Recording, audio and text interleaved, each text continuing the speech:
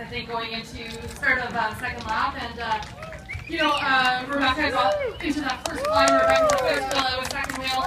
Something happened behind us. I know um, Emily Batty was with us for a while, but Rebecca was setting such a hot pace that Emily got tagged off, and uh, we just didn't see the rest of the girls after that. So, you know, it's probably about um, you know an hour 20 into the race, and then it was Rebecca and I by ourselves. I noticed you're rocking a single chain ring with a real big, you know, differential in the back that's what you can use.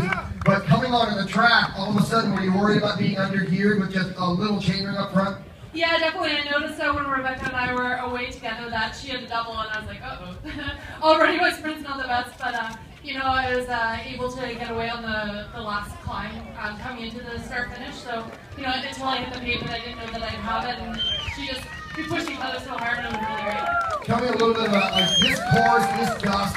It, you know, in the range of your whole season, this is one of the hottest early season races you face. Tire selection's difficult. Just tell me about how the bike was running. Yeah, it's funny actually. This race is cool compared to the other early season races we did in Bonelli and Fontana. But um, yeah, no, it was it was actually really great conditions out there. What makes Sea Otter unique is that it's a well over two hour race, so we're used to racing for an hour and a half, and you can pin it pretty good for that. Um, you know, with a two and a half hour race, there's um, a lot of pacing that has to go on and, uh, and really calculating moves. Tell me about the prestige of this race. Obviously, you're here, Nino Schurter's here. We talked about Cadel Evans lining up with the Gran Fondo. Just the prestige of Sea Otter and how important it is to the Luna team.